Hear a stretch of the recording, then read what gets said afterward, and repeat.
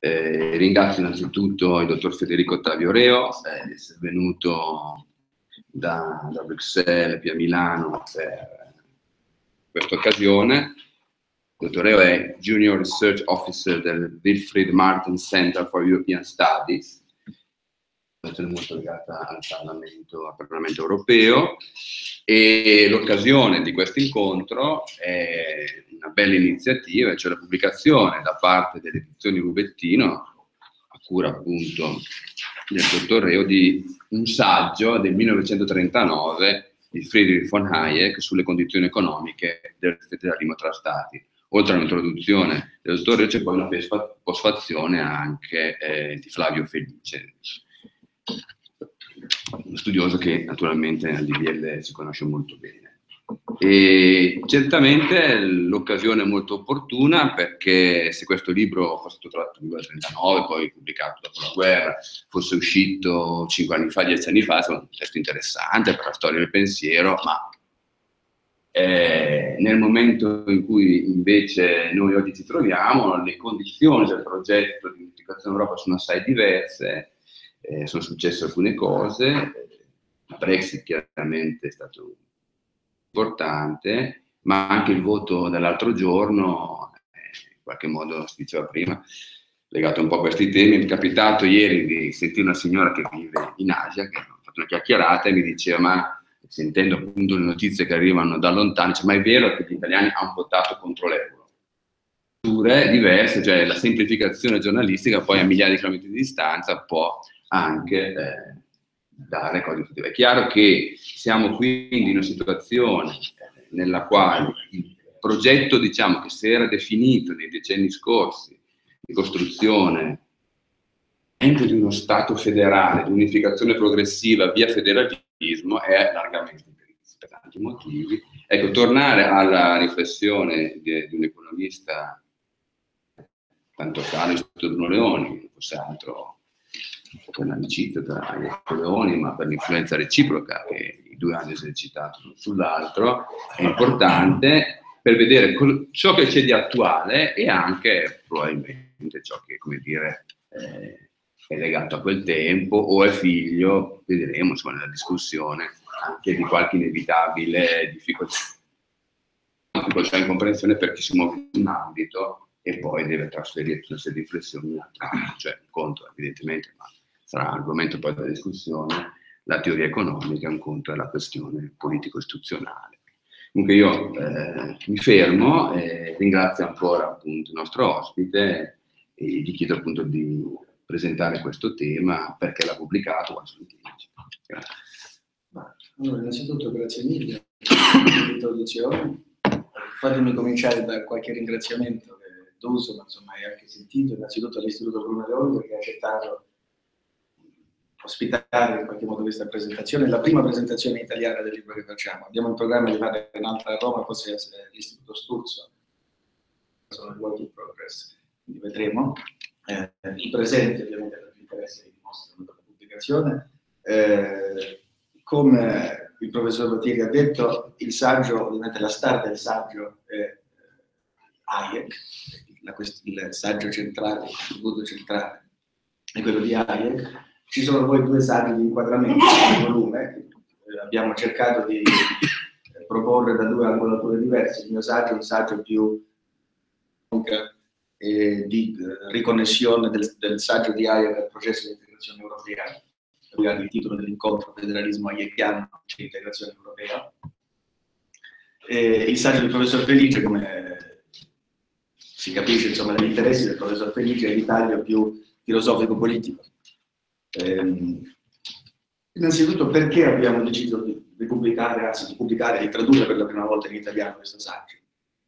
Eh, c'è un valore in sé, un quello che diceva il professor Lottieri, eh, dal punto di vista della storia delle idee, pubblicare per la prima volta in italiano un saggio di un, autore classico che non era mai stato pubblicato, eh, però c'è una ragione più profonda. Eh, il progetto è partito all'inizio del 2014 per varie ragioni, anche per miei spostamenti insomma, professionali eh, è stato un po' rallentato, ma mi pare che dall'inizio della, della crisi, quella che chiamiamo la grande recessione, 2007-2008, e poi la crisi dell'euro, ci sono almeno due eh, elementi centrali del pensiero hayekiano che sono ritornati, se non in auge, almeno eh, diciamo nel, hanno mh, assunto un interesse nuovo. Il primo è la teoria del ciclo economico, che molti economisti hanno ripescato per cercare di spiegare la, la grande recessione del 2007, 2009-10. E secondo me la, la seconda questione è l'analisi hayekiana del federalismo eh, le due questioni hanno un ruolo e un peso diverso nel pensiero di Hayek. Hayek ha dedicato, credo, 15-20 anni della sua carriera, l'inizio della sua carriera, alle, a teorie in qualche modo connesse col ciclo economico. Sul federalismo abbiamo grosso modo solo questo contributo, questo piccolo saggio del 39, ma è un saggio per molti aspetti una perla. Vi invito a dare, come, come la maggior parte di quello che Hayek ha scritto. Eh, eh, ci sono delle, delle intuizioni molto interessanti eh, sul processo di integrazione europea, ovviamente anche libero, perché il processo di integrazione europea si è sviluppato solo nel, nel secondo dopoguerra, ehm, e, cercherò in qualche modo di insistere soprattutto sulla rilevanza del saggio per capire il passato dell'integrazione europea e, eh, e anche su una certa rilevanza programmatica, secondo me, politico-programmatica del saggio di Ari, che poi quella che mi interessa di più, perché come ieri io eh, lavoro per la fondazione politica ufficiale del Partito Popolare Europeo. Siamo connessi al Parlamento europeo attraverso il Partito Popolare Europeo, quindi è un lavoro eh, intellettuale e politico al tempo stesso, per cui eh, è chiaro che quando mi sono eh, addentrato nella traduzione l'ho fatto anche con uno scopo francamente politico.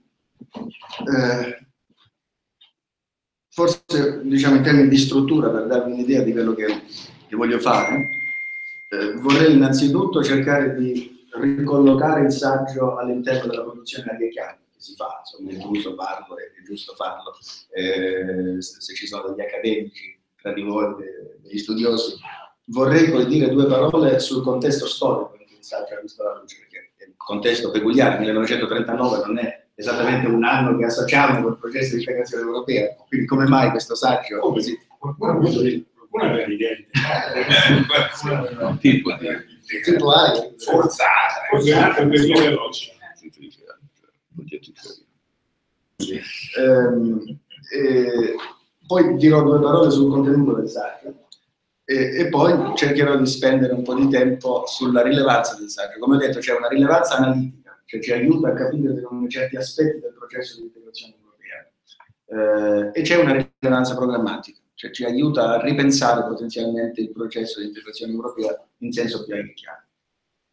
Um, innanzitutto la collocazione nella produzione intellettuale di AIA, che convenzionalmente si tende a distinguere due fasi, due grandi fasi nella, nella vita intellettuale di che grosso modo il discrimine la metà degli anni 40, in particolare questo famoso libro del 1944, La via della schiavitù, eh, e, e, questo libro segna una transizione da temi più tecnico-economici, che hanno caratterizzato la prima fase del pensiero hayekiano, a temi più filosofico-politici. La prima fase, come dicevo, è quella della teoria del ciclo economico, quella della teoria pura del capitale, è quella della riflessione sui sistemi monetari internazionali, eccetera, è quella, eh, se volete, del, del, del dibattito, eh, del grande dibattito con Keynes, no? dell'inizio degli anni 30 da Keynes a Cambridge, Hayek alla School of Economics. La seconda è quella di tutta una serie di contenuti, la Costituzione della libertà, eh, legge e legislazione di libertà, eccetera, insomma sappiamo queste cose. È un saggio di transizione, perché c'è tutta una fase di transizione che va dalla fine degli anni 30 alla metà, come dicevo, degli anni 40, in cui si sente che Hayek si sta allontanando un po' da temi astratti di riflessione tecnico-economica, sta cominciando ad approcciare questioni più eh, politiche, filosofico-politiche, però resta predominante il tema economico e anche in questo saggio politica, ma l'angolatura economica resta dominante, no? le condizioni economiche del federalismo della Stati. Eh, quindi questa è l'interpretazione che darei, appartiene a questa fase cerniera di transizione nel pensiero hayekiano. Dal punto di vista storico, anche qui è interessante, come diceva qualcuno, c'era un processo già di di integrazione europea su base totalitaria, no? si riferiva a quella italiana. Mi pare però che ci fosse, c'era anche dell'altro già negli anni 20 e 30 che si tende a ignorare. Eh, negli anni 20 già. C'è stato un fermento di idee federaliste, soprattutto in Europa centrale, questo è molto interessante, il primo movimento politico eh, federalista è l'Unione Paneuropea, eh, fondata nel 1923 da un nobiluomo eh, boemo ehm, che aveva il suo epicentro l'organizzazione ABN, fu un'organizzazione di cui oggi esiste ancora, peraltro, in forma un po' ectoplasmatica, ma, ehm, ma fu un'organizzazione molto influente negli anni 20, presso Briand, per esempio, presso Stresemann, eccetera. Ehm, e, eh, è interessante, secondo me molto interessante che fosse localizzata nell'Europa centrale. Questa era un'area. Esattamente, esattamente. Era un'area che per secoli era stata organizzata come una sorta di federazione sovranazionale e un'area in cui all'improvviso dopo la guerra mondiale erano sorte eh, decine di, di barriere politiche economiche prima sconosciute. Eh, questo fermento intellettuale esisteva. Eh, negli anni 30, ovviamente negli anni 30 noi li associamo giustamente con l'ascesa dei totalitarismi nazifascisti, senza dubbio questo, questo fenomeno eh, fu preponderante, non c'è il minimo dubbio, al tempo stesso però ehm, il dibattito federalista continuò e continuò anche in modo predominante, cioè, in particolare ci sono due testi che vorrei eh, qui citare che hanno, hanno un, un, insomma, un impatto quasi diretto eh, sul testo di Hayek. Uno è il famoso testo di Lionel Robbins, altro grande economista, sulle, sulle cause economiche della guerra, e in cui Lionel Robbins riflette un po' sul declino del, del liberalismo classico, dell'età d'oro del liberalismo ottocentesco e individua il problema principale nel nazionalismo politico, quindi la, la sovranità assoluta degli stati che eh, in qualche modo alimenta il nazionalismo politico e quindi il protezionismo economico e quindi la creazione di flop economico-politico si contrapposta. Eh, e la soluzione di Lionel Robbins è europea in prospettiva mondiale, siamo alla metà degli anni 30. L'altro contributo che oggi è dimenticato perché dal punto di vista intellettuale era abbastanza debole, eh, ma che ebbe una, una certa risonanza politica, eh, fu eh, un libro di un giornalista americano, Clarence Strike, che è direttamente citato nel saggio di Ario, eh, che si chiamava Union Now. Ed è un libro interessante perché propone una eh, federazione non europea, perché ovviamente parte dell'Europa era sotto controllo nazifascista, no? una federazione delle eh, repubbliche democratiche occidentali, quindi il Commonwealth britannico, gli Stati Uniti d'America e la parte ancora libera da, da dittature dell'Europa. Eh, ed è, e questo è il progetto politico che insomma, eh, alimentò il dibattito in quegli anni, un libro del 38, ed è il progetto a cui Hayek sta immediatamente reagendo. Quindi questo è un po' il contesto storico in cui prende piede. C'è una riflessione su come eh, opporsi alla, alla, all'ascesa delle potenze totalitarie, diciamo, economico-politica, soprattutto nel mondo anglosassone, perché mondo, l'Europa centrale ormai è, è, caduta insomma, nelle, nelle grinfie del totalitarismo, e questo è eh, il contesto in cui si sviluppa il contenuto hayekiano. Dà per scontata sia l'analisi di Nigel Robbins sulle cause economiche della guerra, sia questa proposta politica di Clarence Stratt. Ehm, e quindi con, questo, con, questi elementi di contesto mi è eh, abbordare brevemente il contenuto del saggio. Um, il contenuto del saggio è ben espresso dal titolo le condizioni economiche del federalismo tra Stati. Questo è Hayek si interroga su quali siano le condizioni economiche perché una federazione eh, tra Stati sovrani, pre- pre- precedentemente sovrani, sia sostenibile. E, e credo che eh, identifichi due grosse questioni. Il primo contributo di Hayek credo nell'aver capito che una unione economica, dice lui, sia necessaria per la sostenibilità dell'unione politica federale. Eh, ed è importante precisare che cosa Hayek intende per unione economica, perché è un po' diverso da quello che intendiamo noi nel dibattito europeo oggi, unione economica. Oggi nel dibattito europeo unione economica significa un governo economico eh, che deciderebbe per esempio degli standard di mercato del lavoro, eh, che cercherebbe di armonizzare le norme sociali, eccetera. Eh, invece Hayek utilizza il termine unione economica e ritiene che questa unione economica sia necessaria all'unione politica eh, nel senso di integrazione negativa, cioè nel senso di libertà di mercato. Hayek non lo dice, ma insomma definisce queste, elenca le libertà che ha in mente e sono veramente le quattro libertà del mercato unico europeo. È possibile tradurle in questo modo. Eh, la, la, libertà quindi di, movimento dei beni, dei servizi, dei lavoratori dei capitali. Questa è la concezione hayekiana di unione economica, non ha niente a che vedere con, con l'unione economica in qualche modo interventistica ehm, oggi. E eh, perché Hayek ritiene che questa unione economica sia necessaria alla, alla unione politica? Come la maggior parte dei liberali classici aveva compreso, che eh, la presenza di eh, misure artificiali restrittive del libero commercio tende a segmentare i popoli che sono soggetti a queste misure, tende a artificialmente, questo è un, un centrale del pensiero liberale sin dal, dal XVIII secolo, no? l'idea che queste eh, restrizioni artificiali tendono a mettere i popoli gli uni contro gli altri, tendono a creare delle barriere artificiali e quindi Hayek ritiene all'interno di una federazione sovranazionale in cui non esistano, non siano preservate queste quattro libertà nel lungo periodo di azione economica che, che, inevitabilmente minerà le fondamenta politiche anche della federazione. Ecco perché una unione politica ha bisogno di una garanzia forte delle quattro libertà. C'è un passaggio in cui Hayek dice che dovrà per questo scopo avere poteri di intervento, eh, di poteri inibitori dell'intervento, eh, degli interventi economici a livello nazionale. Questo è il primo passaggio, il primo contributo di Hayek, l'avere lucidato in che senso una unione economica sarebbe... Sì, prego. Queste quattro libertà, se si guarda adesso il dibattito un po' in Inghilterra, dove c'è un po' che francola nel sviluppo per fare. Eh, però molti in Inghilterra mettono in dubbio la necessità della libertà di circolazione dei lavoratori. Ecco, Hayek invece diciamo, sviscera questo aspetto da una motivazione.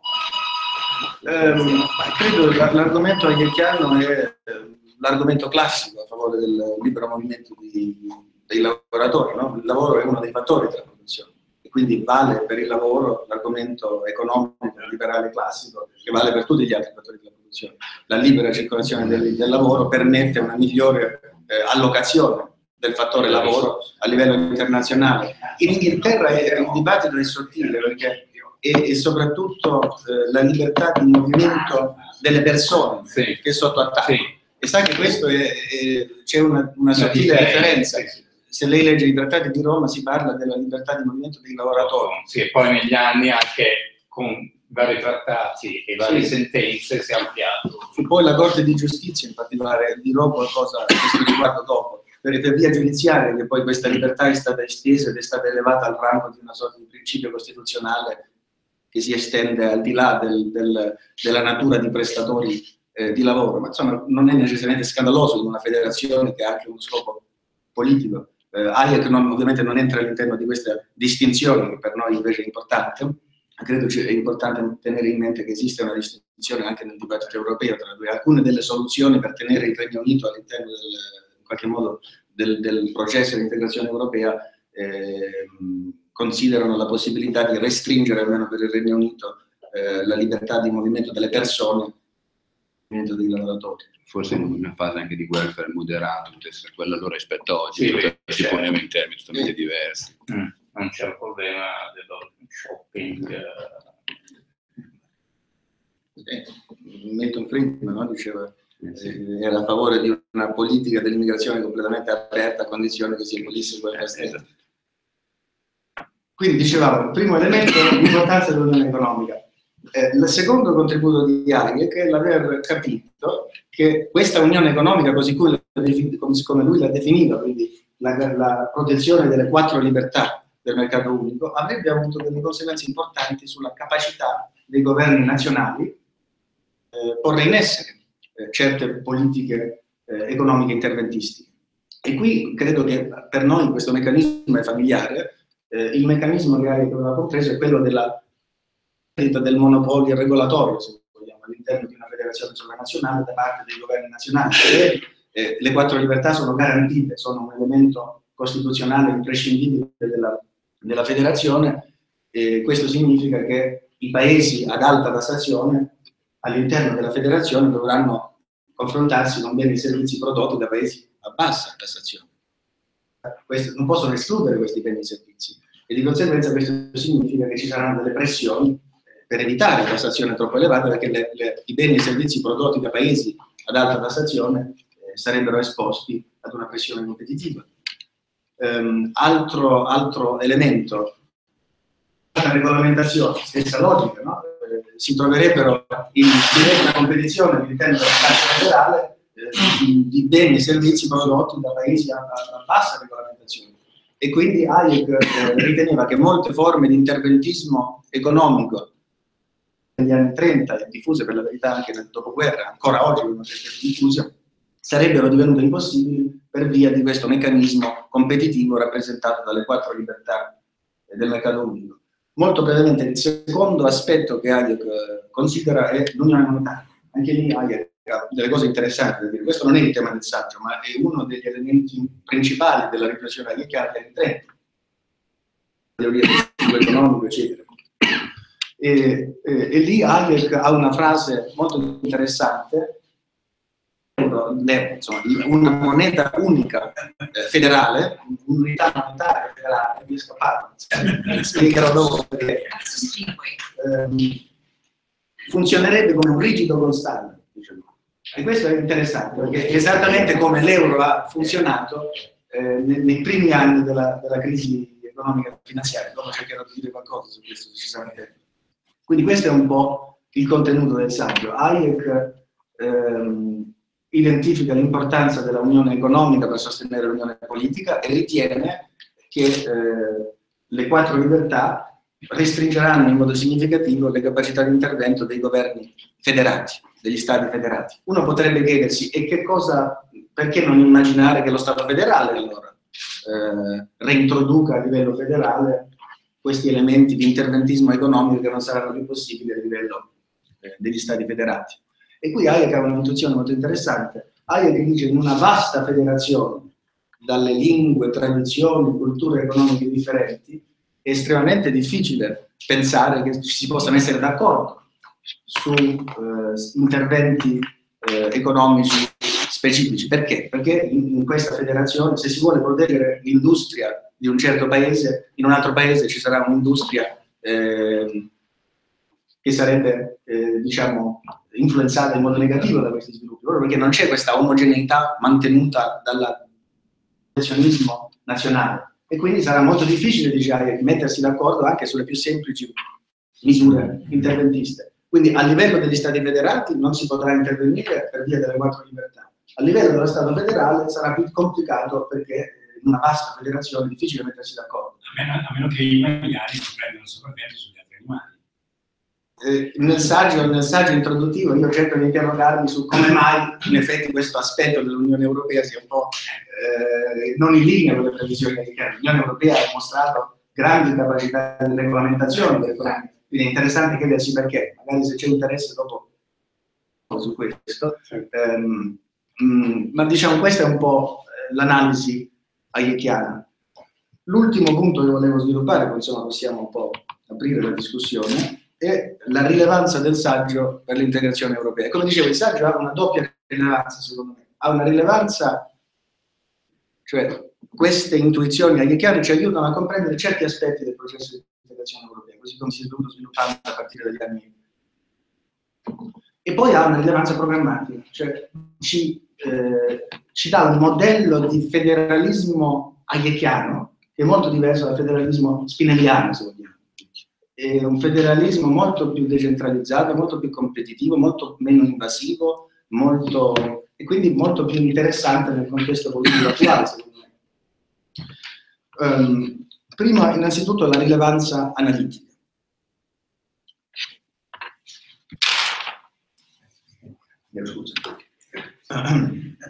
La rilevanza analitica secondo me è interessante perché ci aiuta a capire certi sviluppi a partire dal 1979 per lungo tempo, nei primi decenni dell'integrazione europea, il mercato unico esisteva solo sulla carta. Eh, perché esisteva solo sulla carta? Perché l'idea dei governi era che ci si dovesse mettere d'accordo prima di aprire alla concorrenza continentale, ci si dovesse eh, mettere d'accordo su un regime, su standard europei che rimpiazzassero gli standard, i vari standard nazionali e solo allora, in presenza di questo accordo, si potesse avere il libero movimento dei beni, dei servizi, eccetera. Ehm, il risultato, in parte per la ragione prevista... Le merci si è arrivati abbastanza presto, altri sui servizi, sui capitali. Sulle merci, in termini di, di unione doganale, se si riferisce al 68 dell'unione doganale. Sì, gli standard gli gradualmente standard- sono stati... Però a me pare insomma, che l'elemento eh, era difficile mettersi d'accordo, proprio perché c'erano differenze, come hai aveva previsto, non, non c'era, eh, gli stati erano troppo diversi, soprattutto dopo i primi allargamenti, eh, perché si, ci si mettesse d'accordo su standard comuni. Secondo me in questo insomma, c'è una, una ricca letteratura. Eh, un professore tedesco non libertario, ma, ma molto intelligente su questi temi, Fritz Scharf, un, eh, un professore adesso in pensione, insomma, che ha scritto molto sul tema. E ehm, fu la Corte di giustizia europea in larga misura a rompere il monopolio dei governi con una famosa sentenza esattamente del 1979, la famosa sentenza Cassis de Dijon, che viene un po' eh, dimenticata secondo me nelle discussioni un po' liberali, libertarie del- dell'Unione Europea, sono sempre molto critica. Questa è, questa è una sentenza inconsapevolmente hayekiana, direi, eh, perché è una sentenza che prevede, adesso, insomma, in soldoni, anzi beni, allora, la sentenza riguarda solo i beni, beni legalmente prodotti e commercializzati in uno Stato membro debbano essere accettati in altri Stati membri, a meno che eh, gli altri Stati membri non possano eh, diciamo, invocare certe eccezioni in materia di ordine pubblico, di sanità prevista dai trattati. È comunque la Corte che si riserva la, la facoltà di decidere.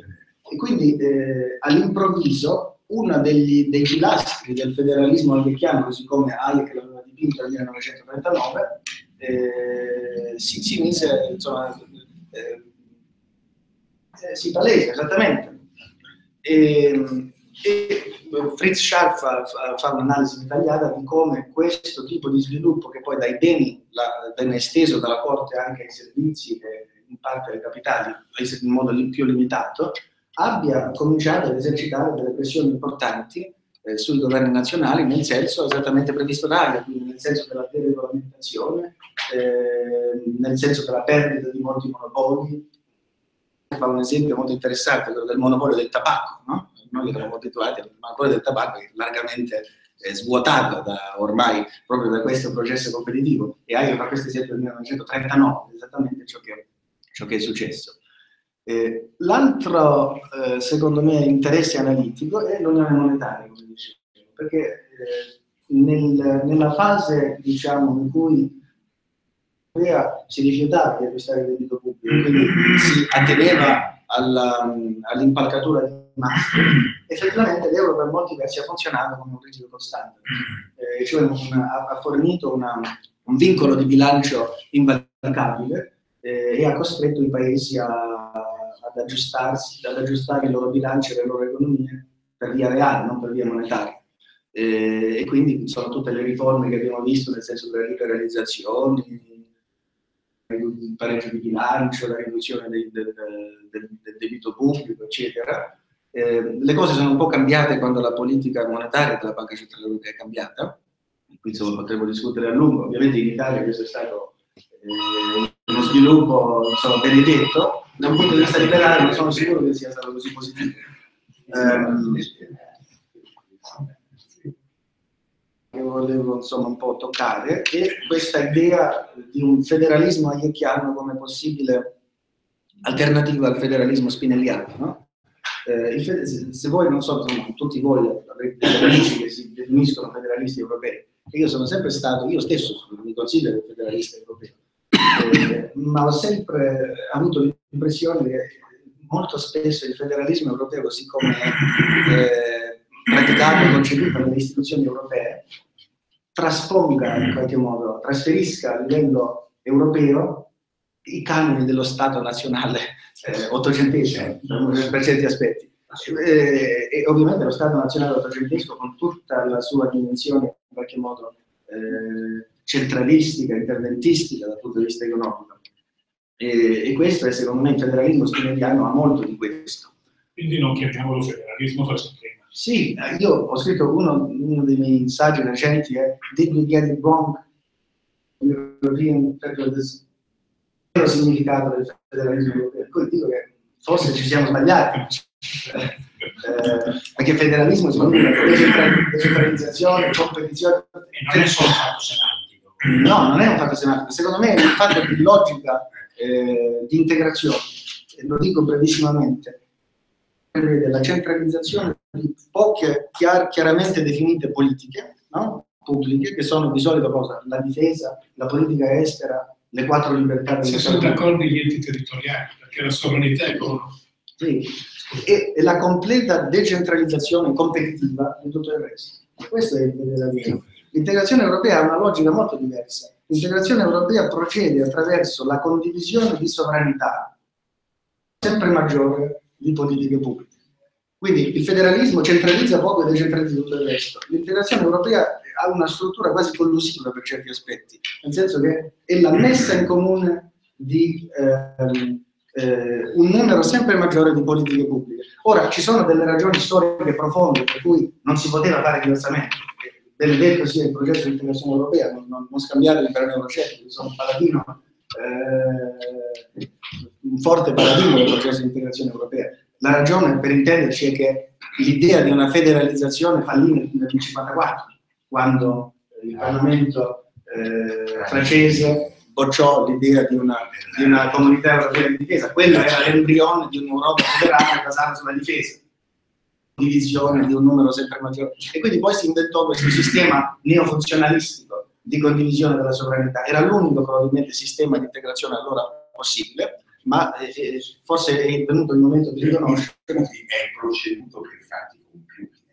Sì, esattamente, insomma non c'è un... Mettendo, no, mettendo, mettendo i, i governi e le opinioni pubbliche davanti.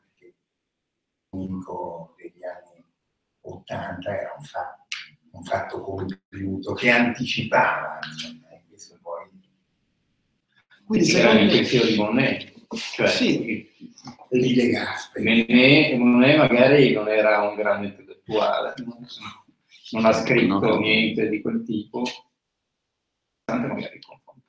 È interessante, in effetti eh, ho un saggio in uscita sempre in un libro curato dal professor Flavio Felice eh, sui 60 anni del Trattato di Maastricht, in cui eh, No, di Roma. eh, del Trattato di Roma, in cui considero i quattro federalismi classici, e cioè eh, distinguo eh, il federalismo di Giamonet, il federalismo di Attiero Spinelli, il federalismo de- cristiano-democratico, se vogliamo, di Adenauer e di Gasperi, e il federalismo liberale di Aldi, Naudi, eccetera.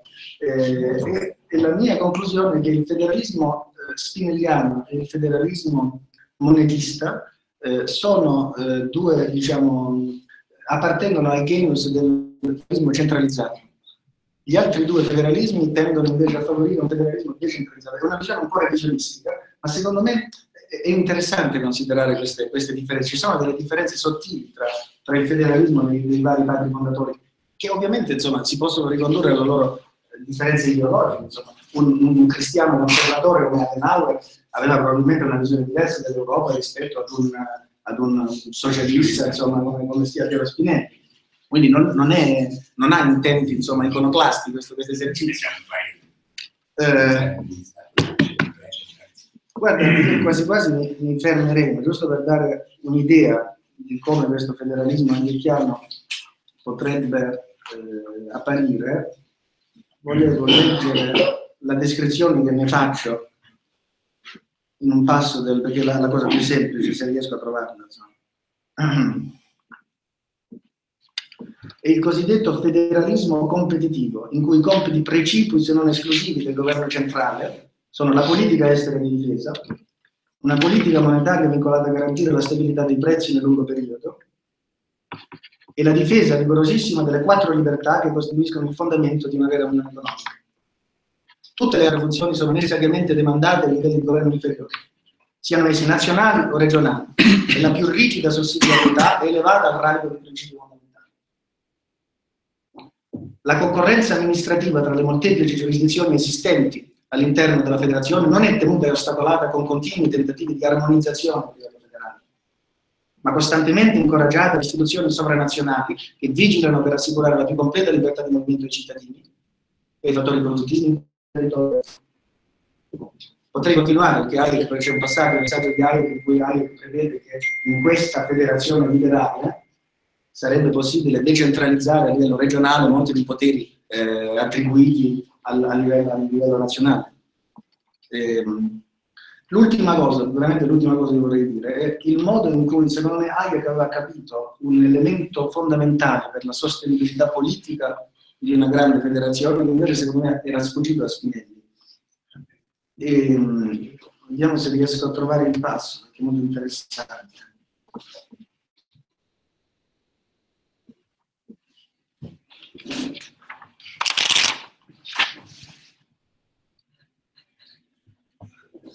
il prezzo che dobbiamo pagare per un governo democratico internazionale è la restrizione del potere e dell'ambito di intervento del governo. Cioè Hayek aveva capito che in una grande federazione dalle diverse tradizioni, dalle diverse tradizioni culturali, eccetera, dalle diverse preferenze economiche, un governo federale può essere stabile e legittimo soltanto se, se non interferisce troppo, se non cerca di dettagliare, di, di, di regolamentare nel dettaglio la vita economica e non se invece si, si cerca di armonizzare, di, eh, di, imporre un modello unico a tutti questi popoli diversi. Ultima citazione, poi insomma apriamo la discussione per parlare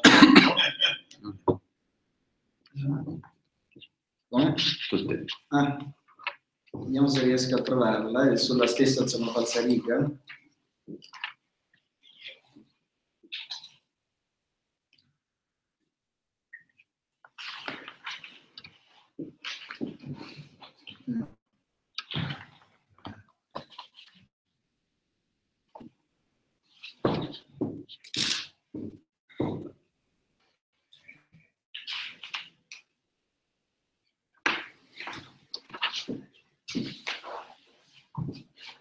No, non riesco a trovarla, ma insomma, avete, credo, credo di essere riuscito, spero, a, a, a dare il senso insomma, del, di questo federalismo che c'è. Secondo me c'è un po' di lavoro da fare su questo.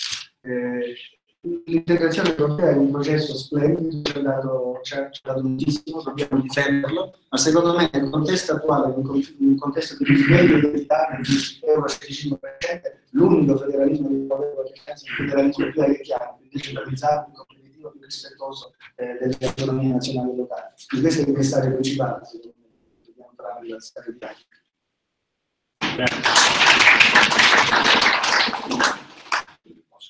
prenda come c'è il potere inibitorio che il governo centrale, diciamo così, avrebbe.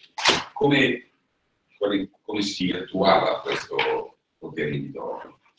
Ma, eh, il saggio è abbastanza generale, parliamo di un saggio che ha 13 pagine nella versione originale, saggio brevissimo, un saggio brevissimo, è interessante perché in 13 pagine eh, si è riuscito a condensare tante, tante, tanti spunti di riflessione però credo che avesse in mente qualcosa di molto simile a, alla proibizione, al divieto di aiuto di Stato eh, che esiste nei trattati comunitari della Commissione. Eh, la logica qui è, una volta che si accetta che la condizione per la sostenibilità dell'unione politica è l'unione economica, quindi il rispetto delle quattro libertà, è necessario che il governo federale abbia poteri inibitori, quindi che impedisca iniziative dei governi federati che possono frammentare l'unità economica della federazione preparare eh, la disintegrazione politica futura della, della federazione. Mantenere una concorrenza leale. Sì, esattamente, noi diremmo così. così.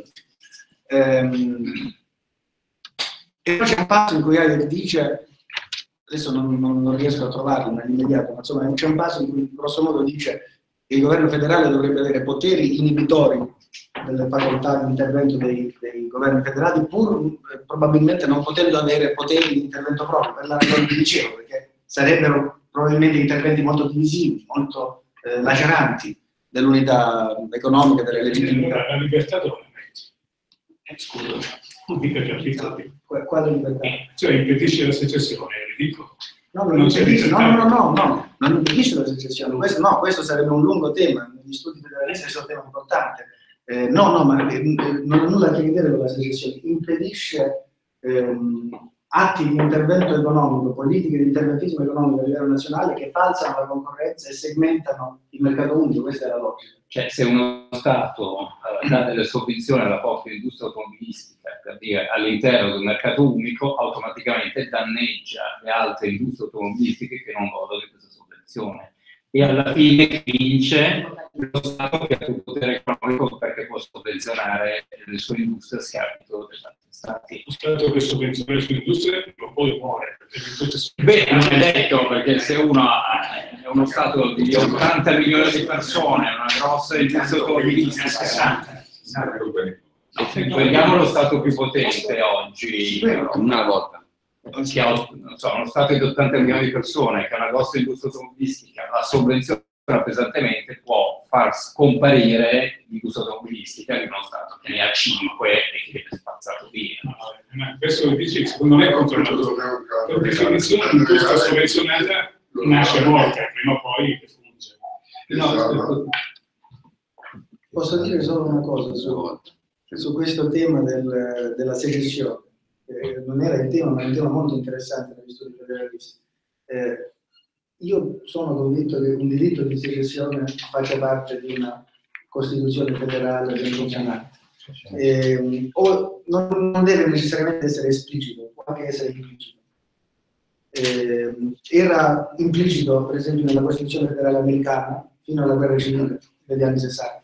Eh, e s- quando l'opzione della secessione, Implicito ma non dichiarato. no, ma no- non dichiarato, ma implicito, era, era, era l'assunto costituzionale sulla base del- che alimentava insomma, le rivendicazioni della, della Confederazione.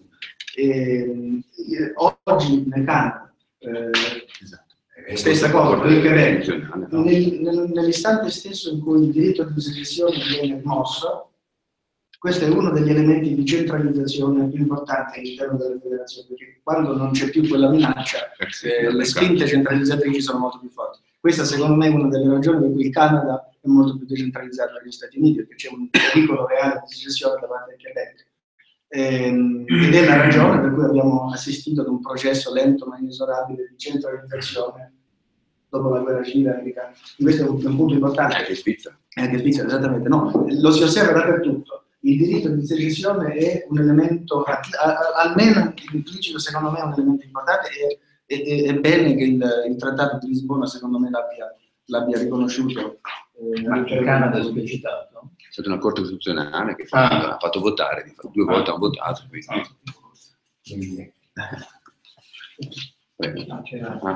C'era, eh, scusa, Enrico, c'era prima. c'era- Sì, io avrei due domande, grazie per, l'intervento. La prima che riguarda la storia della, della competition law dell'Unione Europea, che secondo me in qualche modo scredita la tesi di Hayek, su che io su cose condivido, e cioè concorrenza con potere esclusivo è riuscita in qualche modo a mantenere queste quattro libertà combattendo anzitutto quando gli stati, sappiamo benissimo le battaglie, se uno guarda tutti i processi della storia, i monopoli che cartelli eccetera hanno combattuto e contro ultimamente le multinazionali.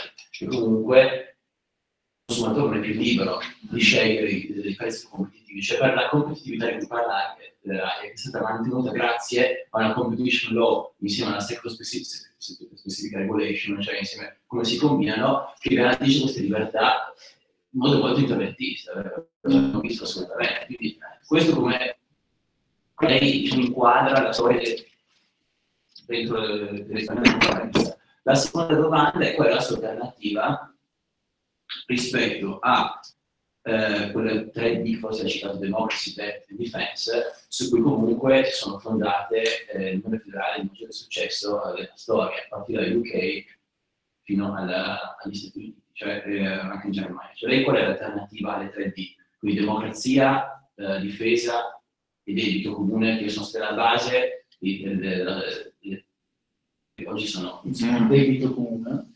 Le, le, le, tre D, no? Defense, democracy, debt. Cioè le, le, le, No, non l'ho mai Beh, che se uno guarda it's, uh, the UK,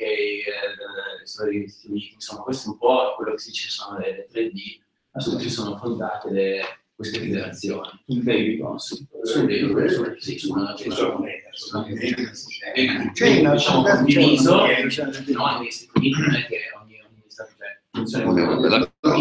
una- una- no, negli Stati Uniti non è che difesa, no, lo so, però quella è l'alternativa, c'è anche non sono d'accordo. Io non so poco, so che sono falliscono degli stati delle città, il debito non è tanto. Sono due debiti. Cioè c'è il debito federale e il debito degli stati. Credo- La California ha Rispetto adesso, quindi due livelli. Quella è l'alternativa, se ho, Prego. se ho capito bene, insomma, lei si riferisce alla- alle origini degli Stati Uniti, quando effettivamente una parte del debito degli Stati federati venne, venne mutualizzata. E sono, sono quelli più pari in aula anche di questi tre D, Sì, sì. sul, Ovviamente è un tema, è un tema enorme e complesso, ma insomma cercherò di dire, di dire quello che mi pare opportuno sul tema. Innanzitutto sul eh, diritto della concorrenza, questa competition law e molto interventista sono interamente d'accordo. E non credo che Hayek, sa, Hayek, competition law della, della Comunità Economica Europea e poi dell'Unione Europea è stata forgiata da una scuola di pensiero, lei sa, quella ordoliberale, che è, è la scuola austriaca e con la variante, diciamo, della scuola austriaca, ma non è, non è identica. Eh, tutti questi, molta di questa gente era stata, aveva studiato con Mises a Vienna, alcuni almeno avevano studiato con Mises a Vienna, ma non c'era in particolare sulla concorrenza, questo è uno delle- dei temi più, più, se vuole, divisivi, eh, anche tra i libertari, no? Eh, anche all'interno, molti austriaci non sono nemmeno d'accordo eh, gli uni con gli altri sul tema.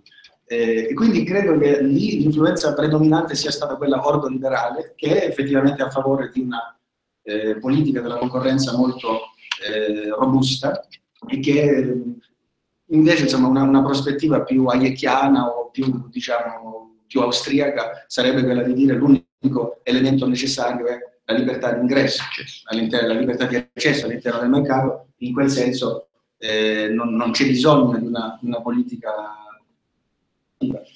sono due modelli diversi, ci sono secondo me delle argomentazioni a favore dell'uno o dell'altro, io tendo ad essere più austriaco su questi temi, non so insomma i presenti, ci sono degli argomenti secondo me a favore di entrambe le posizioni, ma io tendo la mia sensibilità più austriaca, però credo che sia questo, Hayek eh, aveva soprattutto in mente secondo me una concorrenza molto limitata in materia di divieto di aiuti di Stato credo che tutti saremo qui d'accordo su, su questo tema. Però quindi come istituzione comunque in qualche modo va regolamentata questa cosa. C'è Va? regolamentata. C'è chi per una corte di giustizia comunque deve, può, può in qualche modo intervenire, perché sennò come si è.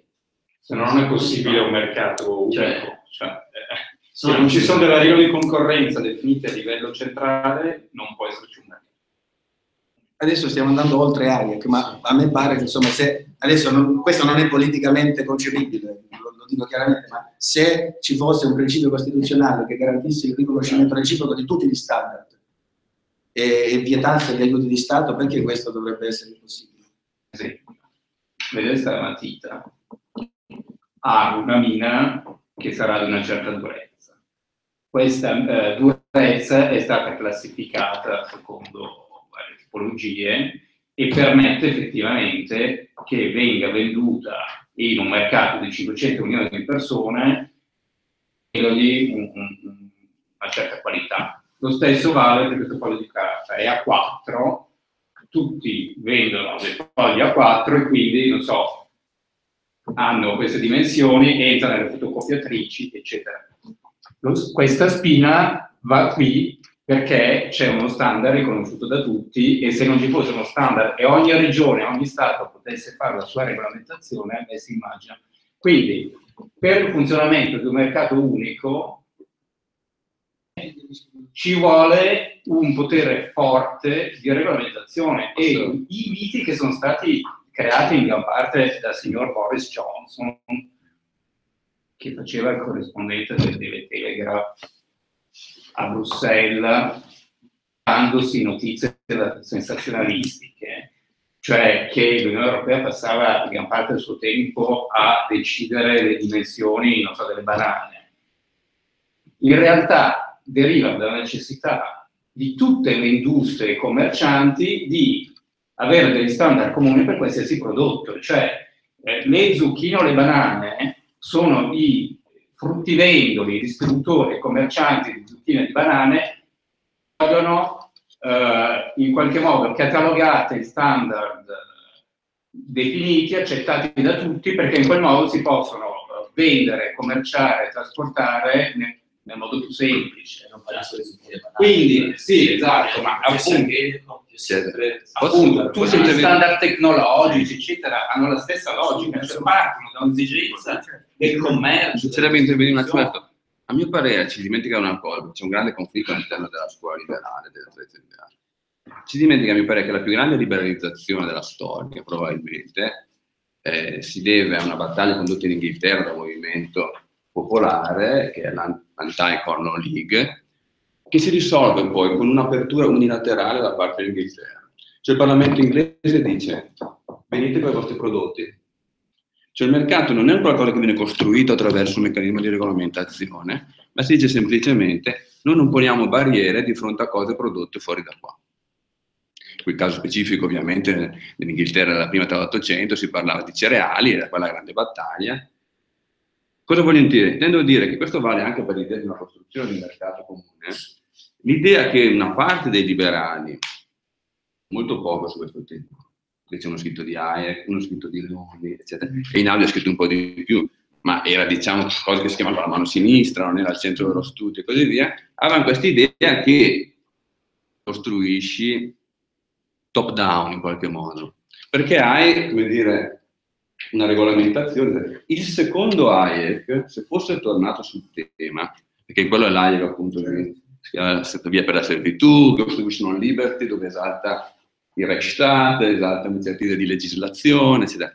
Il- l'ultimo Hayek, quello di Law Legislation and Liberty, cioè l'idea che la libertà è un processo, appunto un meccanismo evolutivo, avrebbe sposato questa idea di una costruzione appunto eh, dall'alto verso il basso, avrebbe detto, ma io scommetto sul fatto che se lasciamo i vari paesi liberi fra di loro, è probabile che la gente non produca 32.000 modi diversi di, o che produca forme stranissime di pagine, mentre in cui la Xerox o altre compagnie hanno una certa... Cioè, se noi lasciamo, come dire, co- così come non c'è della Crusca e della comunità francese, non c'è qualcuno che regola il nostro linguaggio, classico esempio di Leoni, ma il linguaggio è un sistema di regole che evolve spontaneamente, noi ci capiamo più o meno con qualche errore, ma usiamo sintassi, lessico, eccetera.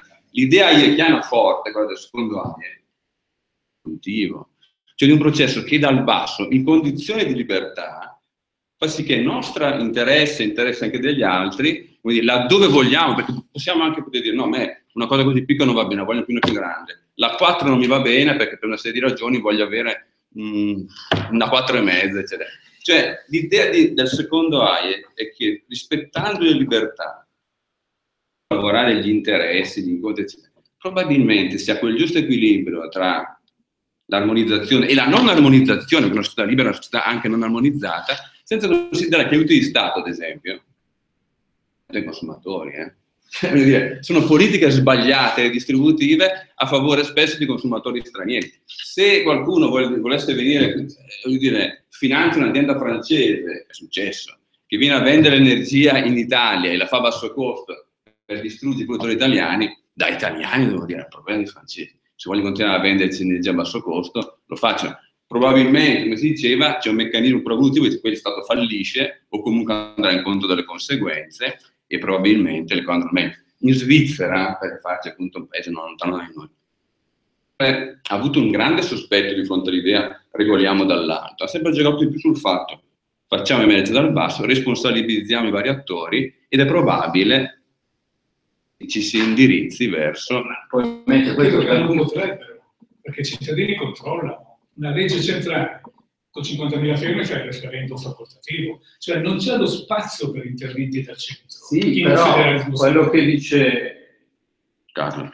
Carlo, eh, penso che dal punto di vista teorico sia apprezzabile. Però se uno si confronta con la realtà... Con la realtà, la, lunghezza- visto- la- la forma delle banane non è un'invenzione di Boris Johnson, è un problema lobbistico dei francesi perché c'è una produzione in Guadalupe, credo, e volevano impedire l'ingresso di banane di altro tipo. Cioè non è che questa regolamentazione sia una cosa così neutrale, Sì, risponde alla, log- alla cattura del regolatore. però, dai. No, è la cattura del regolatore. un certo, dall'alto, un po' dall'alto. È la cattura del regolatore. Il fruttivendolo vuole avere le- Seguendo scusa, tuo esempio, in Italia circolano prodotti, eh, apparecchi elettrici con spine diverse, d'accordo? Eh, crea un problema, La nostra, no? la francese, l'inglese, capisci? Vedere. A, a, a proposito delle Ci sono spine, anche delle soluzioni. eh, ma non è ideale, diciamo. Non so, un esempio che è stato risolto, ad esempio, fino a poco tempo fa i produttori di cellulari, ogni produttore di cellulari produceva un caricatore diverso. Allora, il risultato cos'era? Che il consumatore doveva, ogni volta che cambiava il cellulare, comparsa un caricatore diverso, una produzione infinita di rifiuti, eh, anche difficili da smalti- smaltire, e una diminuzione della concorrenza, perché alla fine il produttore del cellulare deve farti pagare il caricatore 100 euro perché tanto tu eri, anche se costava 5, perché tanto tu eri obbligato nel momento in cui dovevi sostituirlo a prenderlo da quel Sì, però c'è una- Qual è stato il Sì, risultato? così l'abbiamo chiesto al Ferrari. Ma qual è esatto? Qual è stato il risultato? No, è stato regolamentato dall'alto, da una direttiva europea che ha imposto uno standard unico per diminuire, per impedire lo spreco. Eh, torniamo però all'ordine. Mondiale. Domande, domande. No, voleva rispondere, scusate. Eh sì. C'è una domanda Un po' di non ancora risposta. Eh, sì. Eh, innanzitutto un'osservazione, se possibile. Quello che diceva Carlo Bottieri è molto giusto sulla evoluzione di Hayek. Questo è eh, un Hayek che ha 40 anni, siamo nel 39. Hayek ha cambiato posizione su molti temi. Uno dei temi che ha, ha abordato in questo saggio e su cui poi ha cambiato opinione in modo radicale l'unione monetaria. Qui sembra essere a favore di una unione monetaria così come noi la concepiremo, no? con una banca centrale, con una unità monetaria comune. Sappiamo tutti che poi nella fase cioè nella, nella fase successiva della sua produzione invece si è espresso a favore della concorrenza tra le monete ed è lo stesso meccanismo a cui Carlo Lottieri puntava, no? questa, questa, questa evoluzione dalla concezione hayekiana della libertà verso una concezione evoluzionistica. Ehm, questo è solo un'osservazione.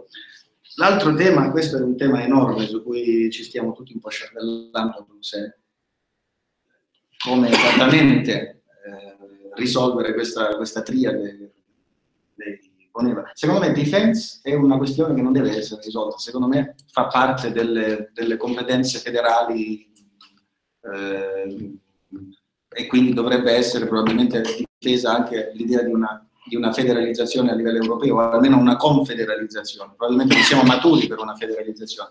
E i- gli sviluppi politici in una certa misura vanno in quella direzione, nel senso che eh, se, lei guarda, se lei legge per esempio il discorso di Trump, c'è un, eh, un ritiro potenziale degli Stati Uniti che indebolirebbe la Nato, quindi c'è forse una, una finestra che si potrebbe sfruttare dal punto di vista politico per fare qualcosa.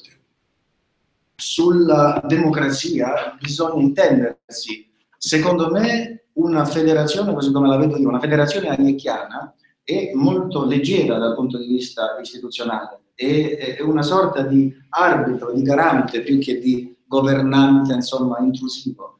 E, e quindi secondo me ha bisogno di meccanismi di legittimazione democratica, ma non, non molto pesanti. Insomma, l'idea di trasformare l'Unione Europea in una repubblica federale, parlamentare, che è un po' l'idea dietro, non lo so, degli Spitzenkandidaten, eh, non sono sicuro che vada nella giusta direzione da questo punto di vista. Però qui come fa, come fa a mettere una difense e una non democracy, cioè come fa a legittimare una, una common defense senza una, legittimazione democratica? No, Ci vuole una, una legittimazione democratica, ma può essere anche una legittimazione tipo confederale, no? non deve essere necessariamente.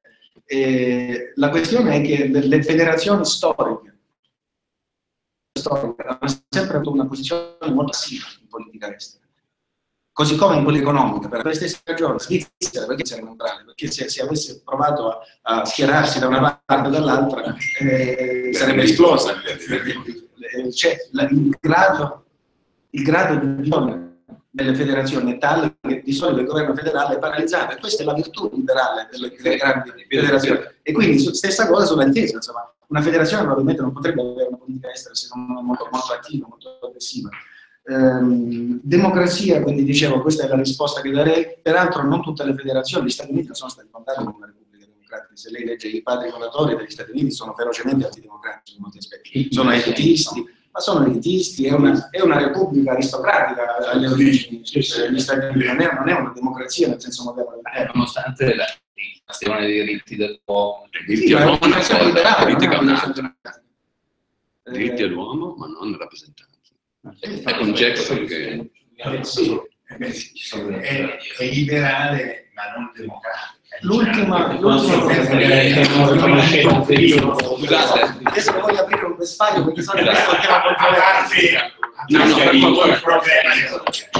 Dice Questo, questo è un tema controverso, quindi non voglio però secondo me l'ultimo tema, il debito. È vero che nelle- nella fase iniziale del- di molte federazioni c'è una mutualizzazione del debito. Gli Stati Uniti è un esempio, non in tutte, non in tutte. L'Italia è un altro esempio, anche se non era una federazione, ma certamente avvenne. Ehm, non secondo me non è necessario nella misura in cui eh, la, la cosa è trattata diciamo, nel dibattito. Secondo me una via più hayeckiana sarebbe insistere su riforme a livello nazionale che riducano in modo significativo lo stock del debito a livello nazionale. Si può immaginare una qualche forma di, diciamo, di espansione del bilancio comunitario, ma secondo me non è essenziale in una federazione minimalista, competitiva. Secondo me quello che è essenziale è capire che la politica economica, il contesto di politica economica è cambiato. Cioè i livelli di e di interventismo che erano compatibili con stati nazionali indipendenti del XX secolo sono insostenibili all'interno di una federazione che vuole rimanere decentralizzata. Centralizzare, non lo vogliamo, secondo i liberali non dovremmo volerlo, eh, o costruire una federazione minimalista, diciamo decentralizzata, competitiva, che però secondo me richiede una drastica riduzione del- dello stock debito a livello nazionale. Prego. E poi? Bisogna dimenticare la past tense. Cioè, non è che si tratta di cosa, ma si tratta di stati che hanno, hanno modellato la loro economia, non so, acciaierie per fare cannoni, eh, telecomunicazioni, ferrovie. Quindi non si tratta di zero. E è ovvio che chi è più forte, se si tutta la, la pura competizione, semplicemente a un'informazione a, a danneggiare quelli che hanno avuto sistemi più deboli. E poi soprattutto un'altra cosa è che come si fa a federare le cose che costituiscono lo Stato? Sanità, scuola, diritto. E Lo Stato è il suo diritto, il suo codice, i suoi codici. E come si fa? Andiamo anche solo alla legge fallimentare.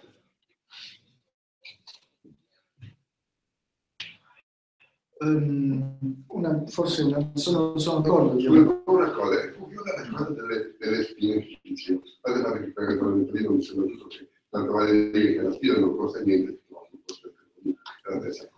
Quindi, no, E no, perché sul telefonino c'è una concorrenza effettiva, ma una volta che tu hai quel telefonino, Si concede non è stupido, sta anche fare soldi. È singolare che gli inglesi, che, che, che in Inghilterra si arriva a allora la spina, Pensate il pollice addirittura, altro che la spina, il pollice usano. Le, le, gli istituti di unificazione sono nazionali ma non sono, sono abbastanza che la gente si mette d'accordo all'interno singoli stati. Il PIL non ho l'impressione che sia una roba, sì, il PIL è credo ah, dire, gerarchicamente all'amministrazione, però sostanzialmente per gente che si mette d'accordo su loro più o meno spontaneamente.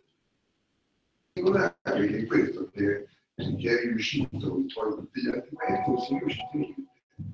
Forse era, sapevo già che era riuscito. Poi c'è quel terzo in China. Eh sì. Ci avevano qui l'idea di... Posso, posso dire due parole su questo? Diritto innanzitutto, credo che le tre, le tre questioni vadano distinte, sanità, scuola è una cosa, diritto è un'altra, si dice. Il diritto innanzitutto mi verrebbe da dire che in parte è stato già euro, europeizzato, federalizzato, no? di fatto abbiamo un sistema giuridico per, per in larga misura sovranazionale, la, la Corte di Giustizia è riuscita abbastanza presto. Perché... Sì, ma questo, ma i principi... Perché il diritto fallimentare è completamente diverso. Sì, ma non è, questo è, appunto, questa è la seconda parte della mia... In termini di principi, bisogna distinguere due cose. In termini di principi, secondo me, adesso non so se c'è qualche giurista, io non sono giurista, ma insomma, quello che so del diritto comunitario mi dice che il principio della supremazia del diritto comunitario, del primato del diritto comunitario, dell'applicazione diretta e tutta la, tutta la, giurisprudenza della Corte di Giustizia che ne è derivata ha probabilmente creato un sistema unitario. Su quello che lei dice invece c'è un'altra dimensione, non è, non è necessario federalizzare tutto il diritto all'interno di una federazione, ci può essere concorrenza eh, tra vari sistemi giuridici, con la stessa logica della concorrenza in altri sistemi. E la, in materia di tassazione ovviamente non abbiamo un diritto fiscale comunitario, dovremmo averlo? No, gli Stati Uniti non ce l'hanno, molte federazioni non ce l'hanno. In materia di diritto parlamentare mi verrebbe da dire insomma, stessa cosa, adesso non, so, non conosco francamente eh, il dossier tecnico sul tema, ma mi verrebbe da dire la stessa cosa, no? c'è concorrenza aperta tra vari sistemi giuridici all'interno di una federazione e certe imprese possono avvantaggiarsi di vari insomma, regimi. Eh, il Delaware, per esempio, fa concorrenza. Veramente, insomma, quindi verrebbe... Quindi secondo me diritto bisogna distinguere la creazione di un sistema giuridico unico, e siamo vicini ad averlo, credo, o se non siamo eh, e la, la mh, possibilità di una importante concorrenza giuridica tra le varie giurisdizioni. Sulla sanità e la scuola è diverso, perché innanzitutto la sanità e la scuola non sono in larga parte federalizzate neppure nelle federazioni che conosciamo, sono, sono di solito competenza eh, prevalente, se non esclusiva, dei cartoni, degli stati federati. Una delle ragioni è esattamente quello che dicevamo, non ci si può mettere d'accordo, l'idea di, eh, cosa, di obbligare eh, tutti gli stati, tutti i cantoni di una grande federazione ad un unico modello eh, scolastico, di istruzione, ad un unico modello sanitario, non, non funziona perché l'essenza, l'anima del federalismo è la protezione della diversità. Ehm, e, quindi, e quindi sarebbe da dire che non c'è bisogno di federalizzare, secondo me, questi temi, anzi siamo andati troppo in là, lo Stato nazionale è andato troppo in là nello statizzare tutte queste istituzioni, queste non erano istituzioni statali. Di solito le federazioni hanno preservato una diversità molto maggiore eh, in termini di, di offerta insomma, di sanitaria e, e, di istruzione, quindi secondo me quello è uno dei vantaggi, la non federalizzazione della sanità e dell'istruzione è uno dei grandi vantaggi di un ordine federale. della concorrenza. Sì. Volevo avere qualche precisazione in più su quale fosse l'idea di von Hayek sulla questione della così, identità, l'aspetto identitario. Mm. Perché Spinelli nel manifesto di Ventottene dice eh, le cose da eh, far so sono le, le, gli stati, le nazioni e lo stesso patriottismo. È una parte in cui attacca pesantemente il patriottismo, che egli ritiene negativo, foriero di guerre, conflitti e quant'altro. Eh, mentre all'inverso eh, mi sembra che quello che è all'ordine del giorno nelle cose sta succedendo negli Stati Uniti e in molta parte del mondo sia proprio questa identità un elemento costitutivo, utile e positivo, oppure qualcosa da cancellare in vista di un universalismo religioso ma legato ai diritti umani e quant'altro. Cosa dice Fonaec su questo? Mi interessa molto perché esempio a Monet o altri, eh, in parte di, della, della comunità economica europea, dicevano che l'Europa era un'entità spirituale, non dicevano che era un'entità economica, no? era partita quello per delineare gli anni 50. E da questo punto di vista si collega molto anche l'idea della sussidiarietà. Cioè, perché qual è, qual è la sussidiarietà di cui parliamo? È quella dall'alto verso il basso o dal basso verso l'alto? Ritenendo che quella dall'alto verso il basso in realtà non lo sia, e il referendum di domenica, io per fortuna ho risolto di mezzo un attimo il discorso dell'interesse nazionale unitario supremazia. La supremazia, da dove poi è l'entità più bassa che chiede quando non riesce alla più alta di intervenire. Altrimenti la sussidiarietà non esiste più. Anche questo è un discorso legato all'enciclica degli anni 30 che iniziò a disegnare. Franchi si occupa di questo punto oppure ci dobbiamo occupare noi? O qualcun altro ci dovrà occupare? Allora, allora, interessantissima, la ringrazio di averla sollevata. Ehm, secondo me quello dell'identità è una delle debolezze liberali fondamentali. Cioè, eh, nel campo liberale c'è una tendenza a, ad identificare eh, l'identità è una questione procedurale, eh, molto spesso. È uscito, io però per caso, mi scusi, Sì, ai licei per parlare con una persona di anni e c'era una conferenza sull'identità, credo che fosse Prosperi per ho visto fuori adesso mi pare il Mulino, un suo saggio che riprendeva la conferenza dei licei, in cui viene pesantissimamente attaccata l'identità. Un elemento Cioè il concetto di identità. Sì, sì, sì, proprio. L'identità non deve esistere, è una limitazione dell'uomo. Ora, invece, siccome insomma, io francamente io di solito mi definisco un liberal conservatore e il conservatore in me è attento ai problemi identitari molto più di quanto non lo sarebbe il liberale puro. E secondo me questa è una, come dicevo, è una debolezza fondamentale del liberalismo e una delle ragioni per cui il liberalismo non è riuscito connettersi in qualche modo eh, con, con, eh, con le masse, se vogliamo. È sempre questo universalismo astratto è sempre restato un fenomeno molto unitario, eh, molto elitario, per scusa, eh, e quindi c'è una debolezza liberale da affrontare. In materia di federazione europea, secondo me Hayek, almeno il primo Hayek, probabilmente è vittima di questo limite liberale. Il secondo Hayek non sono sicuro, il secondo Hayek sviluppa una linea molto più conservatrice. Ehm, Tradizioni. il ruolo delle chiese, il ruolo delle religioni, il ruolo delle istituzioni consuetudinarie, e quello è l'Hayek a cui io mi sento francamente più vicino, molto più del liberale puro eh, degli, anni, degli anni 20 e 30, quello è l'Hayek da cui secondo me noi possiamo che la distinzione che lui fa tra liberalismo, che sbaglia a definire in media geografica, ma continentale e anglosassone, Esattamente. ha questo, il liberalismo anglosassone è più jungiano, conservatore, tradizionale, rispetto al razionalismo volteriano, che lui invece è più Sì. Nella stessa raccolta, l'individualismo vero e falso. Ed è il primo saggio di quella della raccolta del 48, l'individualismo e ordine eh, economico, in cui viene pubblicato questo saggio, questo è l'ultimo. Quindi questo è il saggio di apertura, questo è il saggio di chiusura. Eh, no, il tema è fondamentale, secondo me non possiamo, soprattutto in questo contesto politico, in cui c'è chiaramente un risveglio identitario in giro per il mondo, non possiamo trascurarlo. Secondo me la, la direzione verso la quale mi sto orientando, eh, diciamo a livello europeo, è quella di ehm, eh, diciamo, trasformare l'Europa da un costrutto liberale che si basa su vaghe nozioni tolleranza, apertura, un custode della civiltà europea, in protettore in qualche modo delle, eh, delle identità nazionali e locali, ma non in modo esclusivistico, appunto in modo aperto, competitivo, un garante dell'apertura continentale, ma che non, non cerca di imporre una, una identità artificiale europea. Eh, Scusi, come vede in questo quadro le radici cristiane? allora, eh, gioca un ruolo importantissimo secondo me. Ah, Eh, Non possiamo non dirci cristiani perché è un liberale. ecco. Quindi, Eh, eh, forse le, le radici comunistiche certo, sarebbero certo, certo, Ah, certo. importanti. Eh, no, che mi eh, sembrano sicure. Perché radici cristiane del Medioevo è meglio dimenticarle. adesso, altra questione che ci portiamo.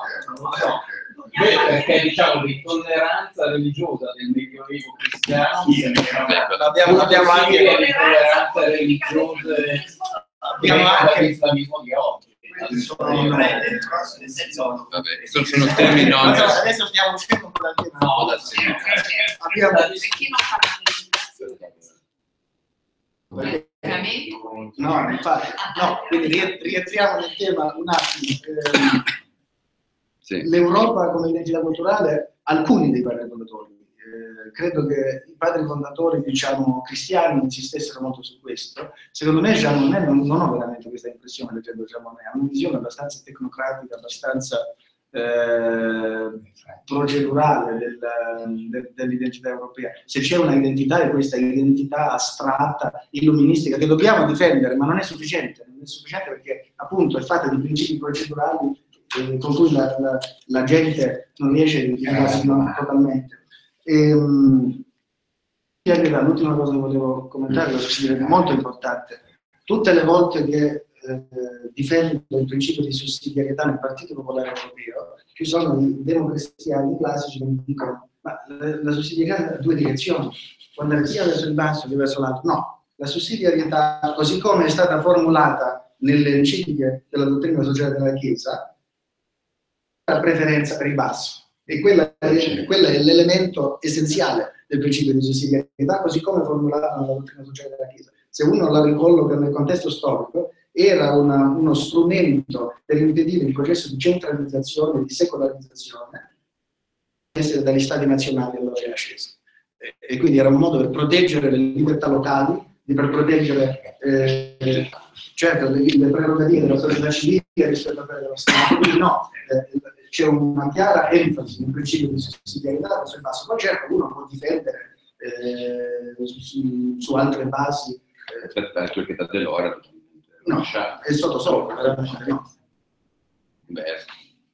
Poi ovviamente qui entriamo in sensibilità politiche, come ho detto io tendo ad appartenere più alla... A, a, io sono più un liberale conservatore che non un liberale è chiaro che tendo a preferire una versione molto più decentralizzata della, della sussidiarietà, entriamo in discorsi insomma, più politici, ma credo che la dottrina sociale della Chiesa, così come formulata eh, nelle varie encicliche dalla Rerum Novara in poi, è chiaramente in questa direzione.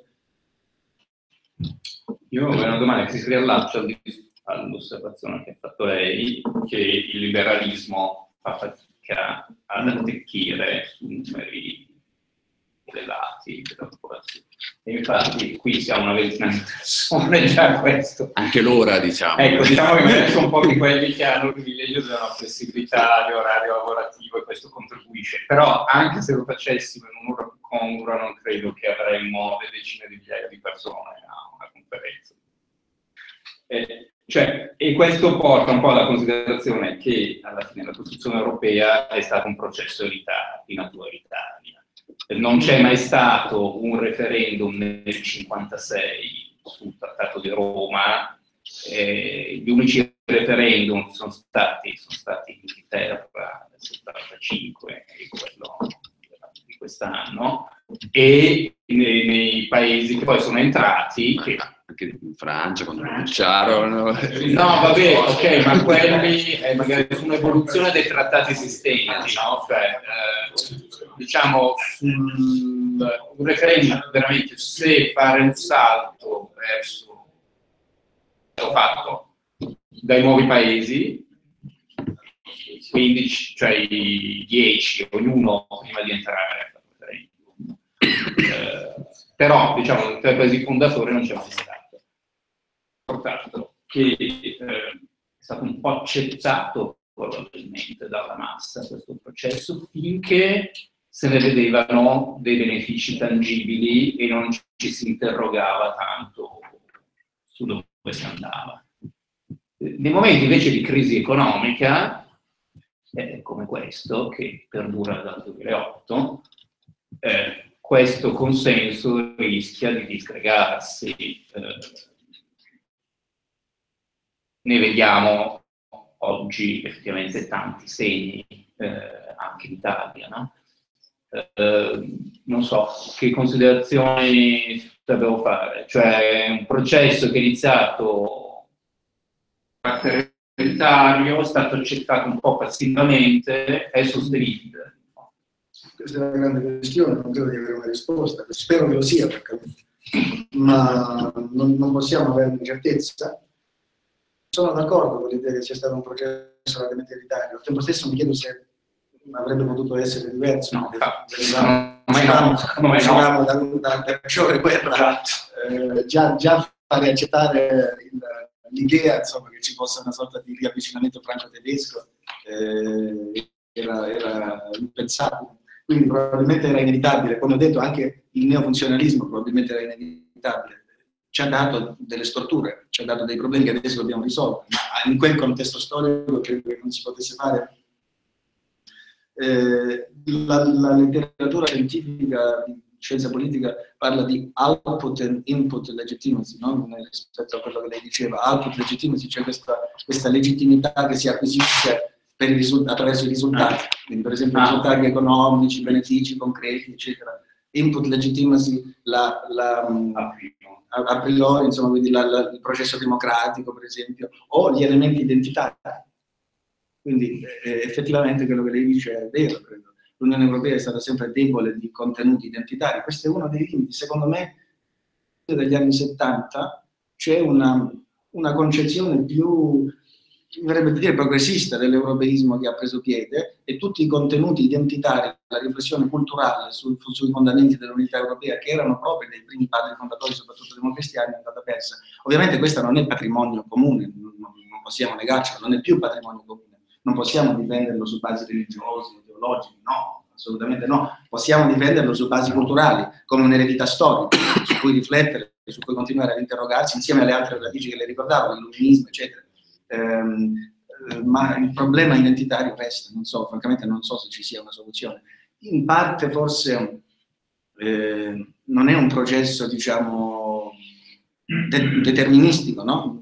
Gli intellettuali hanno un ruolo da giocare per diciamo, produrre costrutti che aiutano la gente a identificarsi con l'Europa, ma eh, in parte è quello che stiamo cercando di fare noi a Bruxelles, ma ovviamente è un processo che persino per gli stati nazionali ha richiesto Credo che ci sia anche un problema di fondo che è banale, ma fare un ordine politico continentale in assenza di una condizione che eh, nei, precedenti esempi di costruzione di vita politica era fondamentale, c'è l'opinione pubblica. Non c'è un'opinione pubblica europea, non ci sono dei luoghi in cui l'opinione- non ci sono nemmeno dei media europei. Ognuno, come dire, vive all'interno di contesti che sono nazionali. Cioè, cioè, di tentarono di lingue. European, vi ricordate? Lingue- e farla subito perché e quindi vuol dire, e fu davvero fatalmente una costruzione tecnocratica perché manca un dibattito comune, siamo segmentati cose. Secondo me si dovrebbe progressivamente eh, diciamo, muovere verso una situazione in cui l'Unione Europea viene vista come un arbitro, come un protettore delle diversità, come una impalcatura continentale per mantenere l'apertura, per difendere certe libertà fondamentali. Immagino l'Unione Europea come uno Stato in fieri, come una- uno Stato nazionale in fieri, come la costruzione dello Stato nazionale europeo. Questo è un po' spinello. Secondo me hanno completamente eh, hanno mal compreso eh, la, la- la situazione politica europea, così come oggi, così come era probabilmente anche negli anni 50. Io direi che se non ci sono altre... L'ultimissima. Tu prego. No, nelle 13 pagine di Von Eyck, eh, c'è una o due righe che parlano di, di chi è la sovranità, che prima parlava de- del governo centrale. Se la sovranità è degli enti territoriali, lo Stato centrale, il governo centrale sovranità zero, svolge i compiti che gli vengono delegati e che possono anche essere tolti queste deleghe. Ovviamente il mio riferimento è all'articolo 3 della Costituzione svizzera, no? la sovranità è dei cantoni, che delegano dei compiti che possono togliere.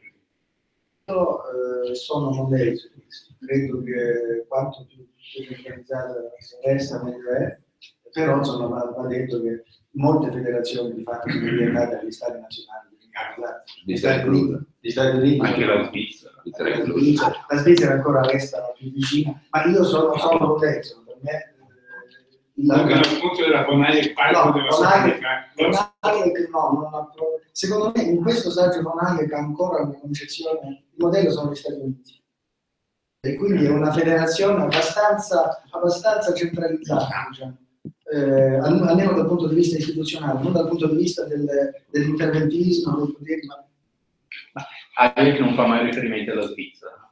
Sì, fa riferimento alla Svizzera in un passo, se ricordo bene, solo in un passo eh, in cui lamenta eh, la disintegrazione economica di varie federazioni e cita la Svizzera e gli Stati Uniti, proprio il fenomeno che dicevo, cioè quando gli stati hanno poteri di intervento e di regolamentazione economica, comincia l'unità economica della federazione comincia a disintegrarsi perché ci sono...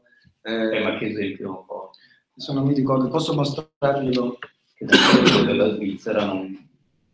E allora, sembra- Ma non è un esempio in cui entra nel dettaglio, fa riferimento a Ah, un'altra pubblicazione. Sì. Ok, grazie.